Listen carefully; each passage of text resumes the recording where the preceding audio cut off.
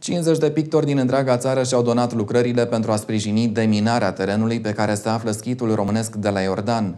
Despre dorința lor de a ajuta au vorbit aseară criticii de artă și artiștii care au participat la vernisajul expoziției O teofanie în piatră și în duh, să reînviem mănăstirea ortodoxă românească de la Iordan.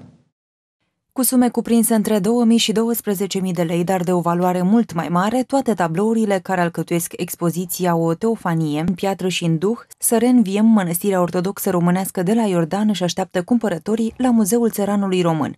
Pe mine m-a inspirat foarte mult niște copii care au spus să ajutăm, să ajutăm, să ajutăm cu lucrările noastre, copiii spuneau, uh, așezământul românesc de la Iordan. Și zic, domnule, posibil copiii vorbesc să ajute și noi, artiștii maturi, nu facem nimic pentru asta. Și așa am pornit această campanie, am început-o, am făcut o expoziție întâi la, la ICR, care ne-a primit pentru un timp, și după aia am, am reluat-o la, la Muzeul Țăranului Român. Expoziția cheamă, este o expoziție foarte frumoasă, sunt artiști reprezentativi din toată țara. Importante sunt lucrările, că sunt foarte frumoase. Și vă invit să le, să le vedeți și poate că uh, vă, vă vor interesa și veți, veți reuși să deveniți ctitor la Iordan. Pe mine m-a impresionat cu cât drag au dat. Știu, un, mi-a plăcut un băiat, George Mircea, cheamă deja, o lucrare lui, de lui a fost vândută și mi-a spus, dar ce lucrări frumoase ne-ai dat? Și a zis, păi și pe mine m-a ajutat Dumnezeu și eu trebuie să ajut. Ce sumă s-a strâns până acum? Păi până acum am strâns 400 de, de milioane, ceea ce este foarte puțin, adică noi visăm la o sumă mare, pentru că s-au, s-au vândut până acum doar șase lucrări. Criticul de artă Doina Mândru a încercat aseară să-i convingă pe participanții la expoziție să devină ctitori la mănăstirea unde a trăit Sfântul Cuvios Ioan Iacob de la Neamț. Este o ocazie extrem de rară de a ne alătura unor gesturi ctitoricești și de a ne alătura dobândind ceva.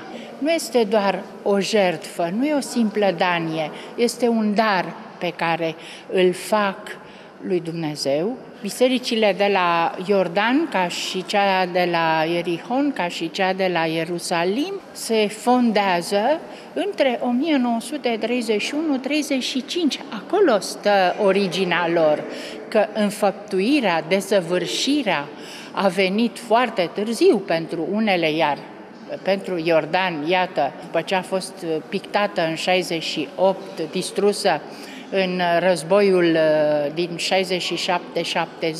67-70 așteaptă acum deminarea și refacerea. Expoziția cuprinde lucrări ale unor artiști remarcabili, pictori și sculptori, membri ai Uniunii Artiștilor Plastici din aproape toate filialele țării, București, Timișoara, Iași, Cluj, Bacău, Constanța, Dej, Bistrița și Deva. Ne-ar bucura foarte tare să știm că am contribuit și noi uh, puțin prin uh, acest tip de întâlnire și de a-i uh, convinge cumva pe donatori că de fapt lucrările sunt mult mai valoroase. Invităm publicul să vină, să se bucure. Cred că dincolo de stilul pe care îl are fiecare, și îl propune, dincolo de toate astea, sentimentul de a fi împreună, pentru această cauză este cel mai important. Valoarea pe care au dat-o este modică, pentru că cea mai ieftină lucrare uh, este de 2000 de lei și cea mai scump prezentată este de 12.000 de lei, dar eu n-aș cuantifica financiar uh,